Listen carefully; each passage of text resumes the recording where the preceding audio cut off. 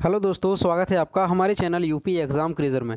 दोस्तों, आज के वीडियो में हम 30 अप्रैल से संबंधित उत्तर प्रदेश करंट अफेयर और इसके अलावा यूपी एग्ज़ाम्स के लिए मोस्ट इंपॉर्टेंट करंट अफेयर के क्वेश्चंस को डिस्कस करेंगे और हर एक क्वेश्चन से रिलेटेड आपको फैक्ट भी बताएँगे।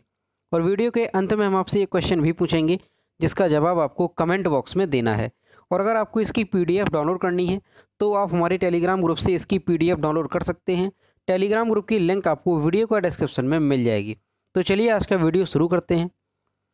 पहला क्वेश्चन है, हाल ही में उत्तर प्रदेश सरकार ने निम्नलिखित में से किस शहर में ऑक्सीजन निगरानी प्रणाली स्थापित की है? ऑप्शन नंबर ए है मुंबई बी है लखनऊ सी है भोपाल और डी है कानपुर। इसका जो करेक्ट आंसर है, वो है option number B Lucknow. Uttar Pradesh सरकार ने लखनऊ में एक ऑक्सीजन निगरानी प्रणाली स्थापित की है। इस प्रणाली के तहत लखनऊ में गृह विभाग में एक कमांड कंट्रोल सेंटर खोला गया है। प्रणाली एक नक्शे पर ऑक्सीजन टैंकरों की आवाजाही पर लाइव रिपोर्ट की निगरानी करने में मदद करेगी। यह टैंकर को भरने में या परिवहन में हो रही देरी का विश्लेषण करेगा और सूचित करेगी। तो दोस्तों, आपको ध्यान रखना है कि उत्तर प्रदेश सरकार ने लखनऊ में एक ऑक्सीजन निगरानी प्रणाली स्थापित की है और इसका काम क्या होगा? तो ये जो प्रणाली है ये ऑक्सीजन टैंकरों की आवाजाही पर लाइव रिपोर्ट की निगरानी करने में मदद करेगी और इसके साथ ही टैंकरों को भरने में या परिवहन में हो रही देरी का विश्लेषण भी इस प्रणाली के तहत किया जाएगा। और इस प्रणाली के तहत लखनऊ में गृह विभाग में एक कमांड कंट्रोल सेंटर खोला जाएगा। तो ये भी आपको अच्छे से ध्यान रखना है। अब दोस्तों, ये जो प्रणाली है, ये लखनऊ में स्थापित की जाएगी। तो लखनऊ के बारे में कुछ इंपॉर्टेंट क्वेश्चन जानते हैं। सबसे पहला तो लखनऊ के उपनाम क्या है? तो नवाबों का शहर, बागों का नगर, ये लखनऊ के उपनाम हैं। और लखनऊ गोमती नदी के किनारे स्थित है, ये भी आपको अच्छे से ध्यान रखना है, कई बार एग्ज़ाम में पूछा गया है। और दोस्तों, जो प्रदेश की राजधानी है, लखनऊ, इससे पहले उत्तर प्रदेश की राजधानी क्या थी? तो इलाहाबाद लखनऊ से पहले उत्तर प्रदेश की राजधानी थी। और इसे इलाहाबाद से बदलकर लखनऊ कब किया गया? तो आपको अच्छे से ध्यान रखना है 1921 में। इलाहाबाद से बदल करके उत्तर प्रदेश की राजधानी लखनऊ की गई। और दोस्तों, लखनऊ में कांग्रेस के तीन अधिवेशन हुए। कौन कौन से? तो पंद्रहवा अधिवेशन, बत्तीसवां अधिवेशन और पचासवां अधिवेशन। और इसमें जो मोस्ट इंपॉर्टेंट है, वो है बत्तीसवां अधिवेशन। और ये जो बत्तीसवां अधिवेशन है, ये 1916 में हुआ था। कब हुआ था? 1916 में। और इस अधिवेशन में मुस्लिम लीग से समझौता हुआ था। और दोस्तों, ये जो बत्तीसवां अधिवेशन था इसकी अध्यक्षता किसने की थी? तो आपको ध्यान रखना है, अंबिका चरण मजूमदार ने बत्तीसवें अधिवेशन की अध्यक्षता की थी। और दोस्तों, लखनऊ में एक केंद्रीय विश्वविद्यालय है। उसका नाम क्या है? तो बाबा साहेब भीमराव अंबेडकर विश्वविद्यालय। ये कहाँ पर है? ये लखनऊ में स्थित है।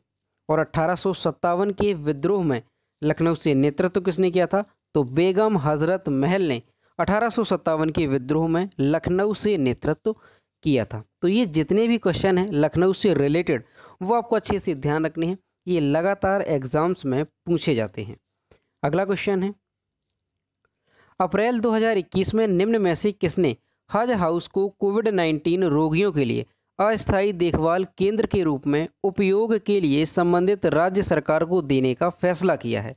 ऑप्शन नंबर ए है, अल्पसंख्यक मामलों का मंत्रालय। बी है संस्कृति मंत्रालय, सी है पर्यटन मंत्रालय और डी है गृह मंत्रालय। तो इसका जो करेक्ट आंसर है, वो है ऑप्शन नंबर ए अल्पसंख्यक मामलों का मंत्रालय।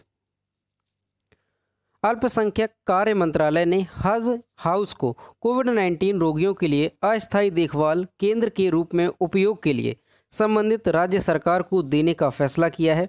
राज्यों को दिए जाने वाले हज समिति हाउस में गुजरात, कर्नाटक, केरल, दिल्ली तेलंगाना, पश्चिम बंगाल, मध्य प्रदेश, उत्तर प्रदेश, महाराष्ट्र, जम्मू कश्मीर, तमिलनाडु, राजस्थान, बिहार, झारखंड और त्रिपुरा शामिल हैं।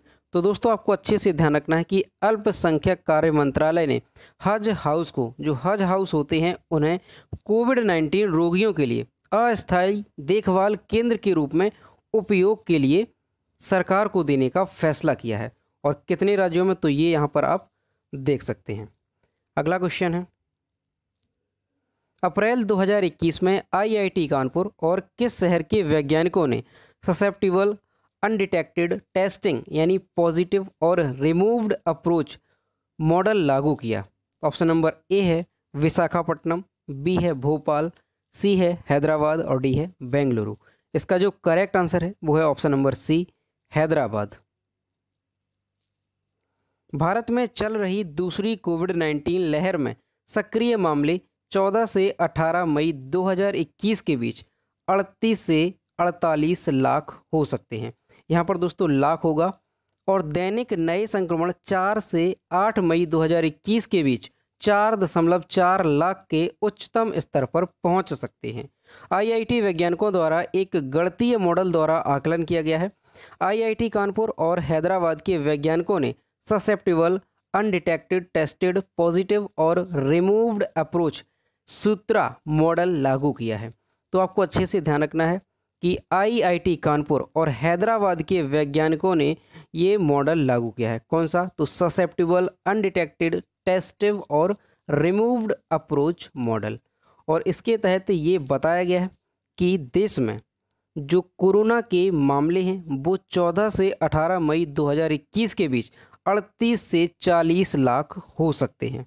और दैनिक संक्रमण अगर देखा जाए तो चार से आठ मई 2021 के बीच में चार दशमलव चार लाख के उच्चतम स्तर पर पहुँच सकते हैं। अगला क्वेश्चन है। Indian Institute of Human Brand के एडवर्टाइजिंग रिकॉल इन आईपीएल 2021 अध्ययन में निम्नलिखित में से कौन सबसे ज़्यादा चर्चित ब्रांड एम्बेसडर हैं? ऑप्शन नंबर ए है रणवीर सिंह, बी है एम एस धोनी, सी है विराट कोहली और डी है ए और बी दोनों। तो इसका जो करेक्ट आंसर है, वो है ऑप्शन नंबर डी ए और बी दोनों। Indian Institute of Human Brands IIHB की एडवर्टाइजिंग रिकॉल इन आईपीएल 2021 अध्ययन में अभिनेता रणवीर सिंह और क्रिकेटर एम एस धोनी सबसे ज़्यादा चर्चित ब्रांड एम्बेसडर हैं। 2021 में लीग की शुरुआत के 10 दिन बाद Indian Institute of Human Brands द्वारा वार्षिक आईपीएल एडवर्टाइजिंग रिकॉल रिसर्च का आयोजन किया गया था। एम एस धोनी का सैलीबार स्कोर पिछले आईपीएल में बयासी की तुलना में इस बार सत्तासी था। तो दोस्तों, आपको ध्यान रखना है कि Indian Institute of Human Brands के एडवर्टाइजिंग रिकॉल इन आईपीएल 2021 के अध्ययन के अनुसार जो अभिनेता रणवीर सिंह हैं और क्रिकेटर एम एस धोनी, ये सबसे ज़्यादा चर्चित ब्रांड एम्बेसडर हैं। तो ये आपको अच्छे से ध्यान रखना है। अगला क्वेश्चन है। निम्नलिखित में से किस कंपनी ने भारत में चिकित्सा आपूर्ति और समर्थन के लिए 135 करोड़ रुपए देने की बात कही है? ऑप्शन नंबर ए है अमेजोन बी है फ्लिपकार्ट सी है जोमेटो और डी है गूगल इसका जो करेक्ट आंसर है वो है option number D Google. Google Bharat में चिकित्सा आपूर्ति की सपोर्ट में 135 करोड़ रुपए देगा। गूगल और गूगलर्स मेडिकल सप्लाई के लिए at the rate give India at the rate UNICEF को यह अनुदान दे रहे हैं। गूगल इंडिया ने कहा कि कंपनी भारत में स्थानीय सरकारों के साथ मिलकर काम करेगी ताकि संकट के समय उनका साथ दिया जा सके। तो दोस्तों, आपको अच्छे से ध्यान रखना है कि भारत में चिकित्सा आपूर्ति के सपोर्ट में 135 करोड़ रुपए कौन दे रहा है? तो गूगल भारत में 135 करोड़ रुपए दे रहा है। अब यहाँ पर जो ये गूगल है तो इसके बारे में जानते हैं। दोस्तों, गूगल की स्थापना कब हुई थी? तो आपको अच्छे से ध्यान रखना है, चार सितंबर। कब? चार सितंबर और उन्नीस को। चार सितंबर उन्नीस सौ अट्ठानवे को गूगल की स्थापना हुई थी। और इसकी स्थापना कहाँ पर की गई थी? तो ध्यान रखना है, मेलो पार्क, कैलिफ़ोर्निया, संयुक्त राज्य अमेरिका में इसकी स्थापना की गई थी। और दोस्तों, वर्तमान में गूगल के सीईओ कौन है? तो सुंदर पिचई वर्तमान में गूगल के सीईओ हैं। और दोस्तों, गूगल के संस्थापक कौन थे? तो ध्यान रखना है, लैरी पेज और सरगी ब्रिन, गूगल के संस्थापक थे। ये गूगल से रिलेटेड सारी चीज़ें आपको अच्छे से ध्यान रखनी है। ये मोस्ट इंपॉर्टेंट है। अगला क्वेश्चन है। सबसे कम उम्र की माइक्रोसॉफ्ट प्रमाणित पेशेवर बनकर किसने इतिहास रच दिया? ऑप्शन नंबर ए है इनाया खान, बी है अरिस फातिमा, सी है अलीना मलिक और डी है अनादी मिर्ज़ा। तो इसका जो करेक्ट आंसर है वो है option number B, Aris Fatima. Karachi की चार वर्ष की विलक्षण प्रतिभा की धनी अरस फातिमा ने सबसे कम उम्र की माइक्रोसॉफ्ट सर्टिफाइड पेशेवर बनकर इतिहास रच दिया। अरस फातिमा ने माइक्रोसॉफ्ट सर्टिफाइड प्रोफेशनल एमसीपी परीक्षा में 831 अंक प्राप्त किए, जबकि एमसीपी परीक्षा उत्तीर्ण करने के लिए आवश्यक न्यूनतम अंक 700 हैं। अरिस के पिता ने भी बहुत कम उम्र में मील का पत्थर पूरा किया उन्होंने अपनी बेटी की आईटी में रुचि देखी और इस परीक्षण में उसकी मदद की। तो दोस्तों, ये क्वेश्चन भी इंपॉर्टेंट है, आपको अच्छे से ध्यान रखना है कि कराची की जो चार वर्ष की विलक्षण प्रतिभा की धनी अरिस फातिमा है, ये सबसे कम उम्र की माइक्रोसॉफ्ट सर्टिफाइड पेशेवर बनकर इसने इतिहास रच दिया है। और यहाँ पर आप देख सकते हैं, ये है चार वर्ष की अरिस फातिमा। अगला क्वेश्चन है। किस देश ने 10 महीनों में पहली बार कोविड 19 से संबंधित शून्य मृत्यु दर्ज की है? ऑप्शन नंबर ए है इसराइल बी है यमन, सी है थाईलैंड और डी है इंडोनेशिया। इसका जो करेक्ट आंसर है, वो है option number A Israel Israel ने 10 महीनों में पहली बार कोविड 19 से संबंधित शून्य मृत्यु दर्ज की है। पिछली बार देश में शून्य मृत्यु की रिपोर्ट जून 2020 में हुई थी, जब देश में लॉकडाउन लागू किया गया था। विश्व के सभी देशों में इसराइल में टीकाकरण की दर सबसे अधिक है। 24 अप्रैल 2021 तक इसराइल की कुल आबादी के तिरपन प्रतिशत को वैक्सीन की दो खुराक मिल चुकी है। तो दोस्तों, आपको ध्यान रखना है इसराइल ये ऐसा देश है कि अगर पिछले दस महीनों में देखा जाए तो वहाँ पर अभी हाल ही में कोरोना वायरस के शून्य केसेस दर्ज किए गए। यानी वहाँ पर कोरोना वायरस का एक भी मामला यहाँ पर दर्ज नहीं किया गया। तो आपको ध्यान रखना है। और इसके साथ ही ये जो इसराइल देश है, इसमें टीकाकरण की दर विश्व में सभी देशों की तुलना में सबसे अधिक है। और यहाँ पर दोस्तों, वहाँ की जो आबादी है, वहाँ की आबादी को कोरोना वैक्सीन की एक डोज पूरी आबादी को दी जा चुकी है। और जो दोनों डोजें हैं, वो वहाँ की कुल आबादी के तिरपन प्रतिशत को दोनों डोजें दी जा चुकी हैं। तो ये आपको ध्यान रखना है कौन सा देश है? ये इसराइल देश है। अब दोस्तों इसराइल की राजधानी क्या है? तो जेरूसलम इसराइल की राजधानी है। इसराइल की मुद्रा क्या है? तो इसराइली न्यू सिकल इसराइल की मुद्रा है। और इसराइल के जो पीएम है, वो कौन है? तो बेंजामिन नेतन्याहू इसराइल के प्रधानमंत्री हैं। अगला क्वेश्चन है। आरबीआई के निर्देशों के अनुसार प्रबंध निदेशक एमडी और मुख्य आर्थिक अधिकारी सीईओ, एमडी या संपूर्ण समय निदेशक यानी डब्ल्यूटीडी का पद कितने वर्षों से अधिक समय तक एक ही व्यक्ति के पास नहीं रह सकता है? ऑप्शन नंबर ए है दस, बी है पंद्रह, सी है बीस और डी है पच्चीस। इसका जो करेक्ट आंसर है वो है ऑप्शन नंबर बी, पंद्रह वर्षों से अधिक।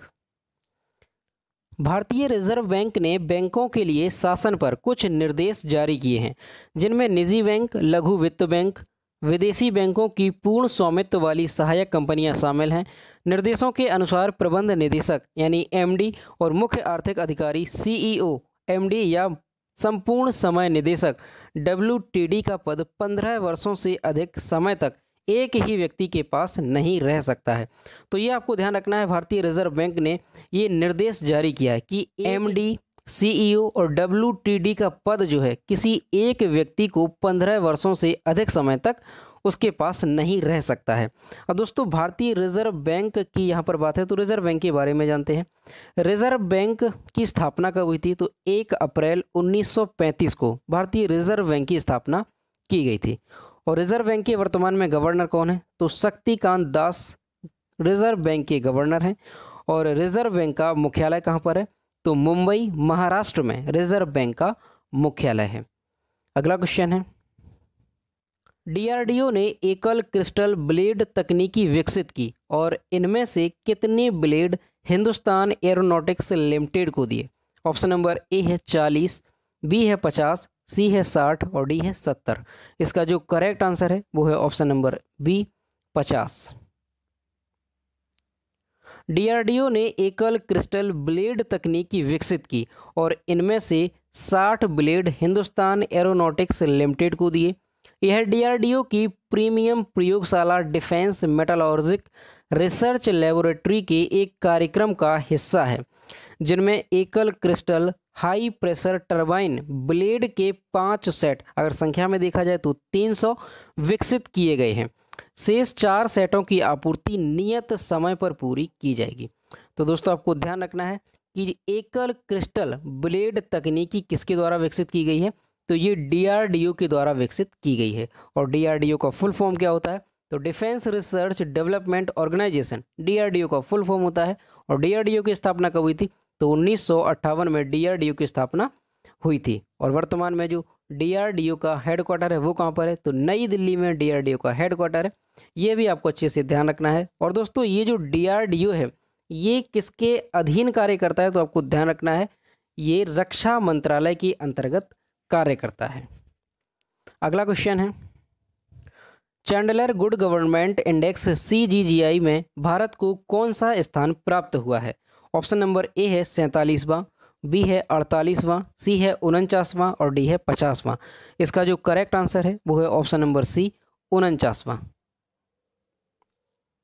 चैंडलर गुड गवर्नमेंट इंडेक्स में भारत को उनचासवां स्थान प्राप्त हुआ है। यह इंडेक्स एक वार्षिक सूचकांक है, जो दुनिया भर में 104 सरकारों की क्षमताओं और प्रभावशीलता को मापने के लिए बनाया गया है। सी को एक निजी गैर लाभकारी संगठन चांडलर इंस्टीट्यूट ऑफ़ गवर्नेंस द्वारा जारी किया गया है, जिसका मुख्यालय सिंगापुर में है। सी सूची में फिनलैंड सबसे ऊपर है, जिसमें प्रत्येक देश को 50 से अधिक खुले डाटा बिंदुओं पर मापा जाता है। तो दोस्तों आपको ध्यान रखना है कि जो चैंडलर गुड गवर्नमेंट इंडेक्स है, उसमें भारत को उनचासवां स्थान प्राप्त हुआ है। और इस इंडेक्स में पहले स्थान पर कौन सा देश है? तो ध्यान रखना है फिनलैंड, इसमें पहले स्थान पर है। और दोस्तों, ये जो सूचकांक है, इसमें कितने देशों को शामिल किया गया? तो 104 देशों को इसमें शामिल किया गया था। तो दोस्तों, ये थे 30 अप्रैल से संबंधित उत्तर प्रदेश करंट अफेयर। और इसके अलावा यूपी एग्ज़ाम्स के लिए मोस्ट इंपॉर्टेंट करंट अफेयर के क्वेश्चन, जो कि हमने डिस्कस किए अब हम देखते हैं पिछले वीडियो का क्वेश्चन, जो हमने आपसे पूछा था। तो ये है कल के वीडियो का क्वेश्चन, जो हमने आपसे पूछा था। हाल ही में प्रधानमंत्री मोदी ने किस जिला पंचायत को सर्वश्रेष्ठ पंचायत के पुरस्कार से सम्मानित किया? इसका जो करेक्ट आंसर था, वो ऑप्शन नंबर बी था, शामली जिला पंचायत, और लगभग सभी स्टूडेंट्स ने इसके सही जवाब दिए। और मैं फिर से कहता हूँ कि जो भी क्वेश्चन आपसे पूछा जाए तो सभी लोग उसका आंसर ज़रूर किया करो। तो ये है आज का question Uttar Pradesh software technology park कहाँ बनाया जाएगा? ऑप्शन नंबर ए है कानपुर, बी है लखनऊ, सी है आगरा और डी है नोएडा। तो इसका जो भी करेक्ट आंसर है, वो आपको कमेंट बॉक्स में बताना है। तो दोस्तों, अगर आपको आज का वीडियो पसंद आया हो तो वीडियो को लाइक करें शेयर करें। और अगर चैनल पर नए हैं तो चैनल को सब्सक्राइब करना ना भूलें। साथ ही बेल आइकन को भी प्रेस करें, ताकि टाइम टू टाइम नोटिफिकेशन आप तक पहुँचता रहे। तो मिलते हैं नेक्स्ट वीडियो में. Thank you